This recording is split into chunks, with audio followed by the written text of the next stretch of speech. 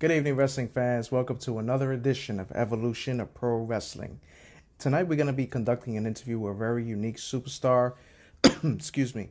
From uh, he's going to, going to be competing at Law Division on June 22nd in Brooklyn. We're going to be welcoming in Sanakori Taino Sagrado Ramos. He is the ceremonial war chief, which is going to be telling us more about that as we go along and we're going to be uh, inviting him in within the next uh, minute or two.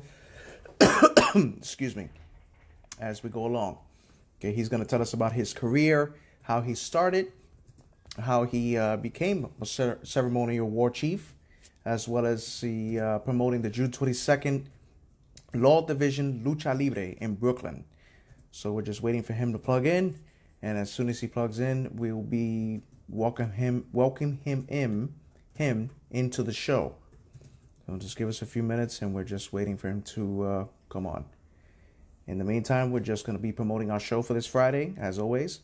We will be having our topic as superstars have been rejected by WCW and WWE and became major stars in that particular issue. So we'll definitely uh, be talking about that and more. So we're just waiting for him to come on right now.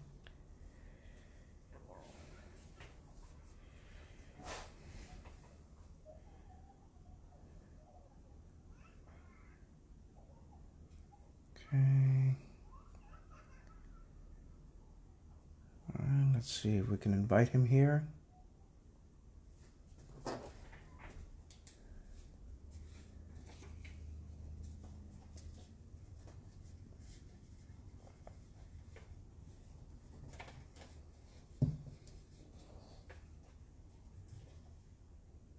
Okay, he went on YouTube.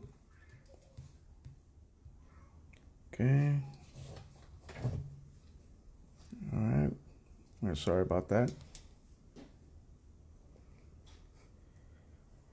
All right. Give me one moment, guys. I'm sorry about this.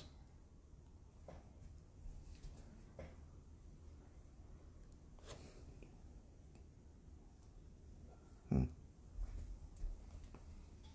Mm-hmm. Okay, we're trying to add him on now.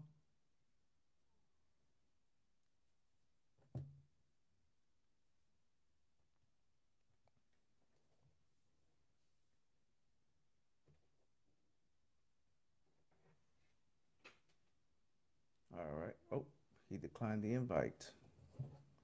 All right, let's try it again.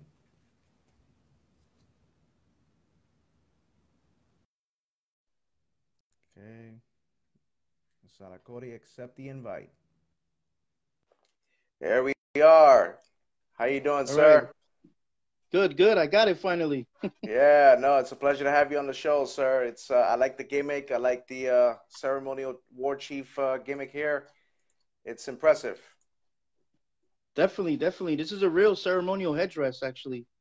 It's a real ceremonial headdress that I use in cer- Taino ceremonies and indigenous ceremonies as well. That's good. That's good. Uh, how did that come about? How did you become a actual uh, ceremonial war chief? Well, back in the '90s, I uh, I became a member of uh, of the Taino movement here in New York City um, through mutual friends. We got together. We would educate each other, educate the public. I started doing school events, and then I was invited by a group called Maiciti, Yukayeke, which means village. And Maiciti it means the people of the corn, and they invited me as their uh, spiritual leader, or what they call behique. And okay. and I was back there like in in the late '90s, early 2000s. That's impressive. We we have seen a few videos that you have uh, been promoting. You know, uh, ritual of Indian, you know, which is good, of mm-hmm. uh, mm-hmm. certain rituals, certain ancestors in the past, which right. is good, which catches a lot of interest from people, which is very good. You know, not too mm-hmm. many people, you know, take to to liking to that, but you're actually embracing that, which is good.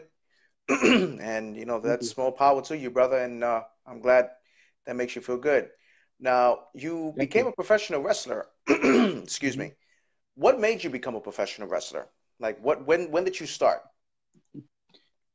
Well, the actual seeds were were planted back when I was a little child. I used to watch professional wrestling, Lucha Libre, Channel 41 on Wednesdays, uh, with my great grandfather. My whole family were big wrestling fans. Um, my first wrestling match in Madison Square Garden was Bob Backlund versus Ken Patera for the world title, Texas Death Match. My uncle and my grandfather took me, and that's when I said to myself, I want to be a professional wrestler. I remember that day meeting Bob Backlund, and I said I wanted to do this.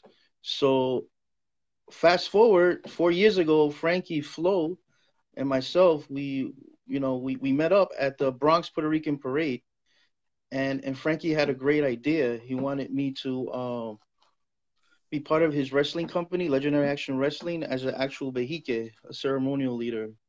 And and I started like that, blessing the ring. He he allowed me to do that because you know at any given time a wrestler can get injured, or God forbid even killed. You know, and like recently, you know, Silver King, God bless him and his family. So, you know, when I bless that ring, it's it's something where you know I'm invoking the ancestors. You know, many of these wrestlers in Legendary Action Wrestling, you know, Boricuas or Dominican, you know, they connected to the Taino, you know, ancestry. So, so I take I took that very seriously, and I remember it was one uh, it was one show in which I was part of the show, and I remember I was being choked, and that was the night I introduced Super Taino into the Legendary Action Wrestling, and I remember hearing the fans supporting me, not just me, but but what this represents. You know, they you know people really felt that like man this you know this is this is a behique he's gonna get hurt you know they're gonna hurt him. So I remember telling Frankie afterwards, listen, I want to be a wrestler. I want to be a pro wrestler. Um, uh, I want to go to the next level, not just manager. You know, which was great. You know, but I, I wanted my my calling like you know when I was 12 years old was to be a professional wrestler. So I thank Frankie Flo for that opportunity. That's good. Mm-hmm. That's good. Frankie Flo, um, great promoter great athlete. Um, we've had mm-hmm. him on the show several times, which we're actually going to have him on the show again this Wednesday. Excuse me. I apologize. We're going to have him on the flow. Uh, also preparing for the show this upcoming Saturday, uh, June 22nd, Law Division Lucha mm-hmm. Libre in Brooklyn. Um, in your in your time in the business, who has been your most uh, fierce opponent? Like who who have you enjoyed being in the ring with so far since in this short amount of time that you've been in the ring? Wow. well, I tell you, I have utmost respect for all the wrestlers that I that have trained me. You know, who who really push me to the limit. You know, both psychologically and physically. It's it's hard to name one. I only had like five experiences so far in the ring: two battle royals, um, two three three man tag team, and and one individual. But but I did have the opportunity to wrestle um, Eric Jaden for the law um, world heavyweight title. Um, I was not I was not ready. I was super green, uh, super raw, but you know, um, at that given day, it was in Connecticut. I was given the opportunity to step in the square circle, and I was scared. I almost passed out. I think. you know, when, when I do my ceremonies, I always get that that nervous feeling. You know, because you want to help the people connect to the you know highest power. But that day, I was like, whoa, you know, and uh, I got beat up really bad, and even after the match, I don't know where I was, but but I kept thinking of uh, what what they would what they taught me in training, you know, stay focused, don't overthink, you know, which is the hardest thing to overthink. But that was my greatest moment in my life, you know, Eric Jaden, and uh, I know he's a super heel now, but but I do have utmost respect for him and and his, what he's doing in his career. But that's good. He, he no, he's another excellent athlete. We've seen him with the uh, the new Sats, Satsujin uh, squad now. um, mm-hmm. Him and Frankie Flo had a fierce rivalry going on. You know, as you noticed when they mm-hmm. were in uh, LAW and BWF. Um, and I know that rivalry is far from over. You know, but you took that experience. you took that experience when you went in the mm-hmm. ring. You know what mm-hmm. you got yourself into a title match. You know what it was. You got that feeling. Now you know what it is to go forward. Um, right. I always ask the talent this question, and I'm going to ask the same thing to you. If you had a chance right now for you mm-hmm. to have a match, a dream match right now, who would it be? Whoa. Who would your a, opponent be? Whoa, that's a deep question. You know, to tell you the truth, um, you know, growing up as a wrestling fan, and you know, we we've we always I, I can speak for myself, and I hear a lot of wrestlers talk about this. Um, we talk about um, wrestling that invisible wrestler, you know, that invisible opponent, and and and my opponent has always been like like the dirtiest player, someone like Ric Flair, you know. But, but when I first met um, Dirtbag Dan, you know, I, I really was was drawn to his character, you know, or, who he is as a wrestler as well. And I said, if I ever before I hang up my my boots and stuff and my headdress as a wrestler, I would love to get in the ring with Dirtbag Dirtbag Dan, you know, because that's that that's the kind of opponent I, I always fought through the years, you know, the ultimate heel, you know, and desecrating my headdress and so on, you know, and uh, doing my best to fight someone like that or wrestle someone like that, even a hardcore match, even. no, that's good. That's really good. It's uh, that you have that dream match that you you you know anything can happen in wrestling. You you know that you witness that and that goes anywhere in the indie promotions, WWE, mm-hmm. in AEW, all types of stuff. You know, mm-hmm. you had mentioned Frankie Flo. Um, he mm-hmm. you know he brought you into the business about four years ago. Um, was there anyone else that influenced you in to become a wrestler? You know, to take that next step to say, you know what, come on, let's just do it. Like get in the ring. Let, let's see what you can do. You know, let's see your heart. You know, is anyone else in particular you can mention out there? Well, I, I just want to give a shout out to uh, Gino Caruso. He's he's opened his doors to me in uh, East Coast Professional Wrestling uh, School. Um, again, I, I still remember my first day when I entered the school, I, I couldn't even feel my knees. You know, I was buckling, and and uh, I saw the confidence that Gino possessed, what he was doing as a teacher, and also uh, giving me the opportunity. And and, and uh, I know Frankie Flo was there that night, and wow, that was an experience, you know. And again, I, I, I had to tell myself, you know, why are you here? Why are you here? and and, I, and, and my mind kept telling me, "What the hell are you doing here?" You know, but but seeing Gino, um, his calmness and and his his focus as a trainer, I um, someone's like looking up to a you know a, a true teacher, you know, a master, what he does. So I felt so that calmed me down, you know, even, even though I was scared, you know, training and stuff that first night, it I, I I'm able to come back, you know, I'm able to come back because I know I'm, I'm in good hands with Gino, you know, and a lot of the other uh, veterans as well. That's good, and I'm and I'm sure he's watching this and viewing this as well as Frankie Flo. June twenty second, Law Division, Lucha Libre mm-hmm. in Brooklyn. you have the you pretty much have the floor right now to promote the entire show, promote any time that you're going to be going up against. Any you can tell the fans where to go to this event, the address, time, mm-hmm tickets, all that stuff. The floor is yours.